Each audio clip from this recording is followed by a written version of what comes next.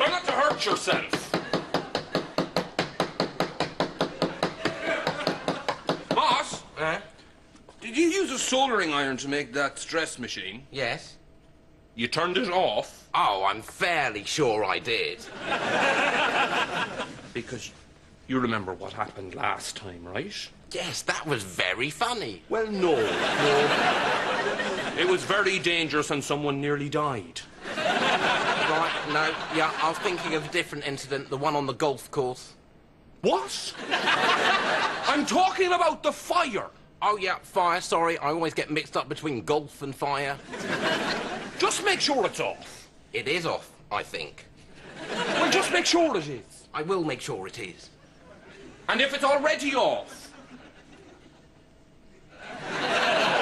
I'll just walk away.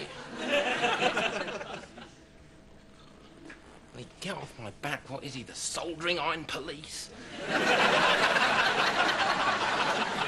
it's off. That means I turn it on and just walk away.